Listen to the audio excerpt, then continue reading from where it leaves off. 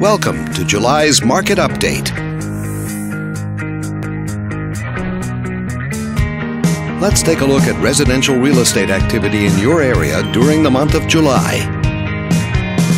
The number of active listings was down 1% from one year earlier and down 8% from the previous month.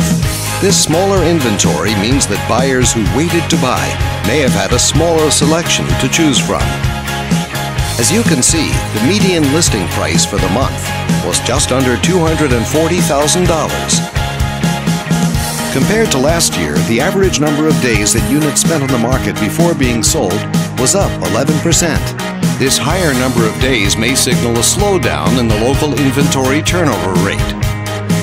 The median sale price was just under $160,000 the number of units sold decreased 19% year over year and increased 3% month over month. Despite a slight annual decrease, this upward monthly sales trend indicates positive momentum. Thanks for watching. We hope you use this information to make smart, informed decisions in your upcoming real estate transactions. Feel free to contact us for more information or further assistance.